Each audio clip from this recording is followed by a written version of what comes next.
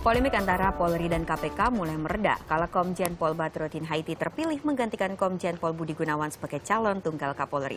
Sempat digoyang isu rekening gendut, Badrodin yakin bisa mempertanggungjawabkan seluruh harta kekayaannya. Dan berikut petikan perbincangannya dengan Satu Indonesia. Kita kembali lagi agak uh, apa berhubungan dengan keluarga ini, Pak. Uh, nama Bapak itu kan kemarin ketika muncul begitu ya beberapa nama dari Kompolnas, ada nama Bapak, nama Pak BG dan juga nama rekan-rekan polisi lainnya. Dan yang dikatakan diduga memiliki rekening gendut itu di antaranya adalah Pak BG dan uh, hmm. Pak Din hmm. gitu. Nah, penjelasan Anda mengenai dugaan ini, terutama terkait dengan polis asuransi yang 1,1 M itu Pak. Jadi begini, hmm. polis asuransi itu eh, saya juga pernah jelaskan ke KPK pada saat 2013 saya klarifikasi untuk LHKPN calon Kapolri. Hmm. Saya, saya jelaskan, termasuk ke Kompolnas saya jelaskan. Saya bilang eh, istri saya waktu itu habis sakit Stephen Johnson syndrome. Yeah. Itu yang parah sekali. Kira-kira saya bawa ke Singapura itu uh, tinggal 10 persen lah. 10%. Oleh karena itu saya harus melindungi setelah itu selesai saya harus melindungi keluarga dengan asuransi kesehatan. Hmm.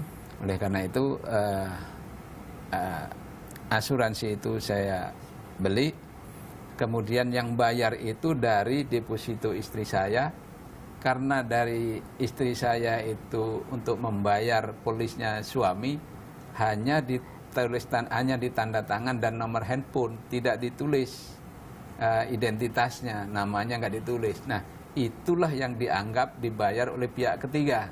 Hmm. Tapi itu semua dokumennya ada, bisa dicek, bisa dibuktikan. Hmm. Gitu. Saya juga pernah jelaskan ke KPK ini loh. Nah, silahkan ditanyakan di LHKPN KPK. Hmm. Gitu. Bapak luar biasa sayang sama istri ya. Loh ya. Sampai begitu. Kan kemarin itu kan Pak BG itu kan istilahnya tidak menjadi ya, tidak menjadi Cakapolri Tunggal itu karena masalah rekening gendut. Hmm.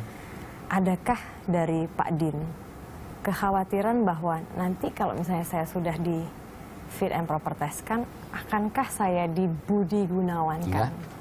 Tidak saya nggak khawatir. Mengapa Pak? Saya bisa pertanggungjawaban. Hmm.